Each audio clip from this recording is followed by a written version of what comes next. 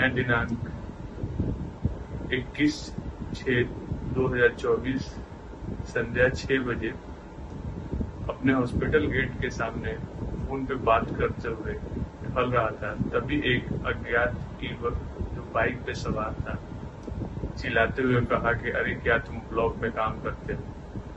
मेरे द्वारा जवाब में बोला गया, नहीं, मैं एक डॉक्टर। इतना कहने के बाद ही उसने गाली गलौज देना शुरू कर दिया। और बोला कि तुम मेरे कमर का इलाज करो, डॉक्टर हो तुम।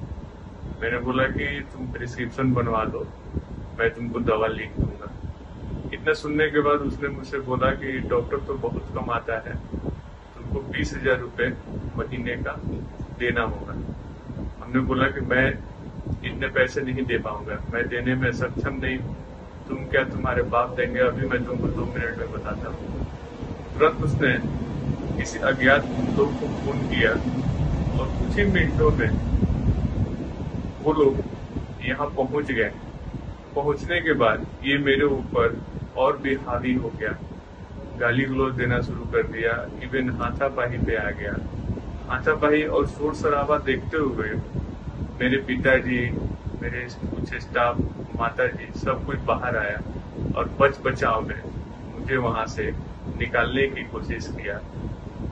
इसी दौरान इसने मेरे पिताजी को भी गाली गलौज दिया हाथापाही किया माता जी को भी गाली गलौज दिया। पेट्रोलिंग गाड़ी उसी समय जा रही थी तो पेट्रोलिंग वाले ने ये सब देखते हुए वहाँ आए और मामले को शांत कराया। मामला शांत होने के पाँच मिनट के बाद शिवम कुमार, जो कि संझौली में एसआई है, और भूपेश प्रताप भूपेंद्र प्रताप सिंह दो लोग हमें ज़बरदस्ती पुलिस के गाड़ी में बैठाकर थाने में ले गए। थाने में ले जाने के बाद हम लोग का मोबाइल जब्त किया। जब्त करने के बाद उसने हमें एक बंद कमरे में ले जाकर हमको बहुत बुरी तरह से पीटा। जब तक पीटता रहा, जब तक कि मैं मूर्छित नहीं हो गया। जब ग्रामीण वहाँ पहुँचे, कुछ लोग चिल्लाना शुरू किए, उसी में से मेरे कुछ रिलेटिव रहे। जो कि एसपी डीएसपी को फ़ोन किए।